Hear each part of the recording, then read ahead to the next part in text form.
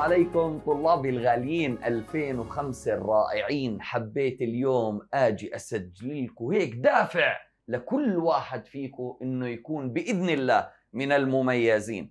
بفضل الله الثاني على المملكة رايا طالبتي بنتي في مدرستي وفي نفس الوقت أخذت معي على جو أكاديمي. والانسه زينة الرائعة المميزة علما وخلقا حصلت الثالثة على المملكة.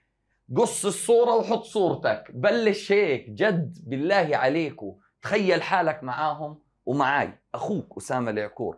وأنا وإنت ماشيين زي ما مشيت معاهم وحتسمع في مقابلاتهم وحتشوف على صفحتي لما ينزلوا نصائحهم.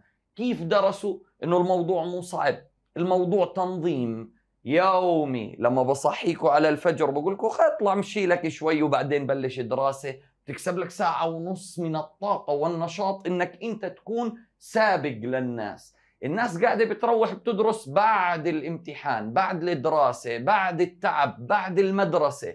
أنت بدك تكون غير. فمن هسه احسب حساب إنه غير أوائل المملكة اللي بفضل الله وتعبهم طبعا وتعب أهاليهم. هذا تعبكم. إحنا موجهين مرشدين. إحنا بنقول لك شو تعمل؟ واللي بيعمل بيحصل علامات مميزة. زي هالعلامات الكاملة الرائعة طلابي الرائعين اللي كانوا عندي في مراكزي وفي مدرسة الجزيرة وفي نفس الوقت منصة المليون طالب مميز لاختيارك جو أكاديمي. خلينا نحط حالنا هون. خلينا دايما نحكي إنه أنا وين موقعي بهدول. وكل ما شفت حالك تحسنت ارفع اسمك لفوق رد ارفع اسمك لفوق. مش بس قائمة إحنا ثلاث قوائم من العلامات العالية جدا اللي جايبين فوق ال 95 في الرياضيات. هلأ إحنا بدنا نضيفكم عليهم يا حلوين. فبدنا شدة حيل لإلكم. كيف درسوا هدول؟ كانوا يمشوا معي حصة بحصة. هدول كانوا يحضروا معسكرات الفجر راح تبدأ بشهر تسعة. كل يوم الصبح نصحيك. نعطيك هيك نص ساعة.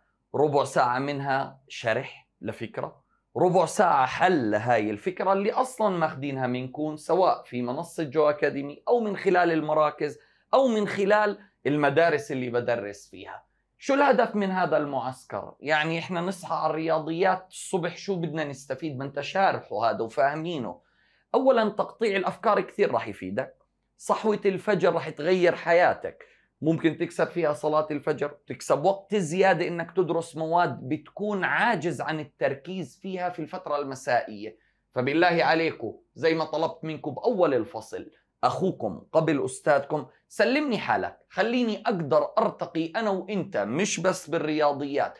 بكل المواد كيف نوصل لعلامة مميزة.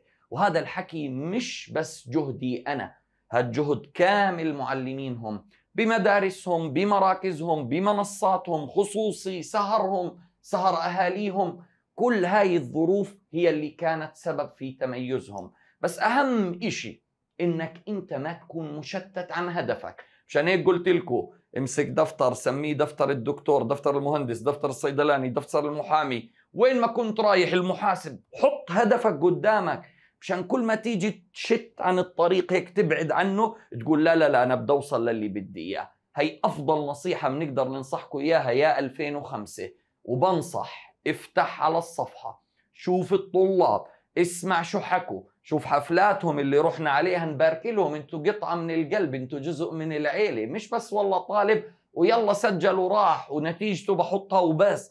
أنا نتيجته بحطها وبفتخر فيها وبروح ببارك له كمان. لأنه أنتوا كنتوا السبب الرئيسي في حبي لإعطاء مزيد من العطاء في هاي المادة لأنه أنتوا تستحقوا دائما الأفخم.